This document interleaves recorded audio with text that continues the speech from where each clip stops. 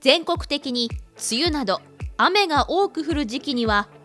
大雨によって水害が発生しています。北九州市でも水害がいつどこで起こってもおかしくありません。この動画では大雨への備えとして皆さんのお家でもできる取り組みについて紹介します。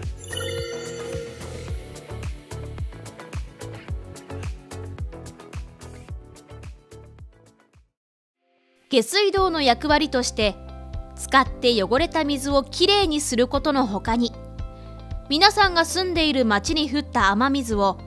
川や海などに流す役割を担っています。この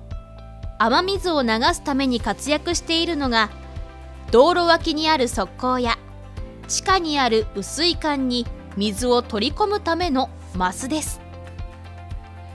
落ち葉やゴミで側溝やマスの上が塞がれていると。うまく雨水が流れず家の庭や道路に水があふれることがあります。大雨の前だけでなく日頃から側溝やマスの上に溜まっている落ち葉などは取り除いて水が流れるようにしておくことが大切です。雨水が道路などから家の中に入ってこないようにする対策として玄関先などに土のうという土が入った袋を置く方法があります。土のう袋はホームセンターなどでも販売されています。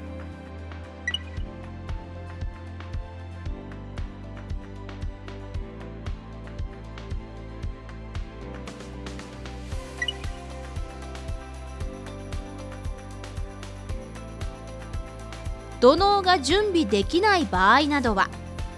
ビニール袋に水を入れた水のうを置くことでも効果があります。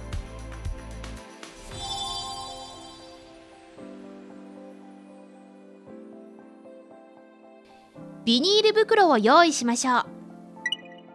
まずはビニール袋に水を入れます。水は3分の1から半分程度入れます。水を入れすぎると重くなるので注意しましょう。破れないように袋は二重にして固く結びます。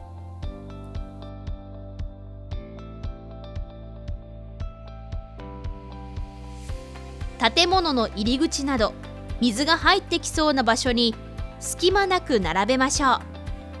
そのまま水嚢を置いても有効ですが段ボールに入れてブルーシートで覆うとさらに効果が上がります。この他にも薄いタンクを設置しているお家では雨が降る前に水を抜いておくことで町にあふれる水を減らす効果があります。大雨の時はトイレや風呂場洗濯機の排水口などから下水がゴボゴボと噴き出すことがあります。そのような時にも水嚢を置くことで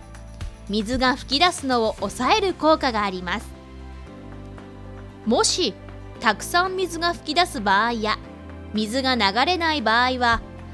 下水管が詰まっている可能性もありますのでお住まいの区役所のまちづくり整備課に連絡してください。今回は大雨による水害を少なくするために皆さんのお家でできる取り組みを紹介しました。その他にも大雨への備えとして大事なことがあるので2つ紹介します。1つ目はハザードマップを事前に確認することです。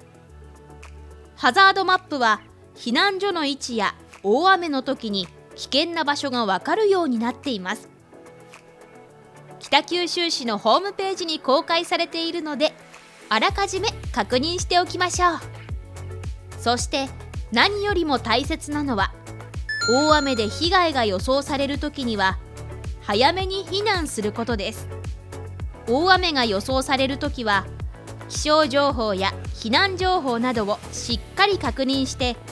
早めの避難を心がけましょう。大雨による水害はいつどこで起こるか分かりません。